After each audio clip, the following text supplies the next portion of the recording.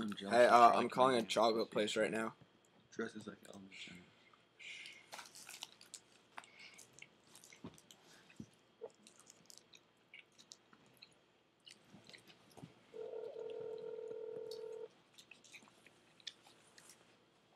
Thank you for calling the dive off. How may I help you? Hey, how you doing?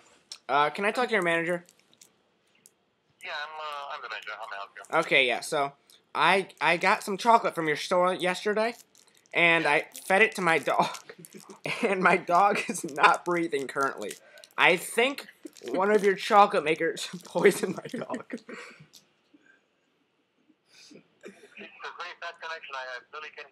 Okay, so I gave some chocolate from your store to my dog, and he's dead. Okay. Your chocolate has been poisoned.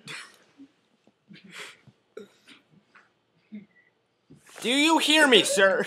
Yes, I can You poisoned my dog. Dogs are not allowed to eat chocolate.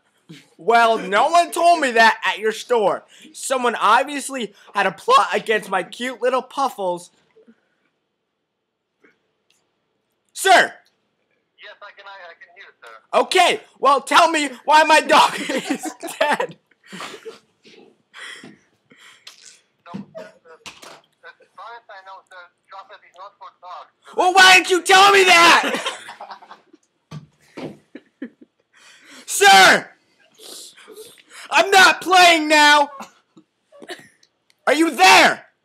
Yes, I, I, I I'm getting very agitated. You never told me that chocolate is bad for Puffles, and now Puffles is dead! He was my best friend, sir! Do you know what is happening to me? Are you there, sir? Yes, I, I, uh, I'm here. I can hear you, but dogs, sir. Well, what are you supposed to do? My best friend is dead! Can I at least get a refund?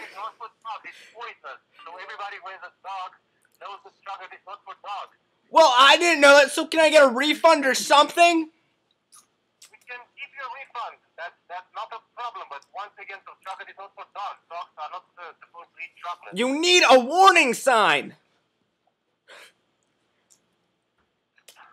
So we are we are chocolate everywhere. We are selling chocolate not for pets. We are selling chocolate for human beings. And once again, chocolate is not for dogs. So who has a dog knows that. But it looks like a dog! Sir, the chocolate had a dog on it! The dog on it. Yes! Sir! Purchase- Did you purchase this one from Godiva? Wait, what? Purchase Did you it from purchase this chocolate from Godiva? Oh, sorry, wrong number.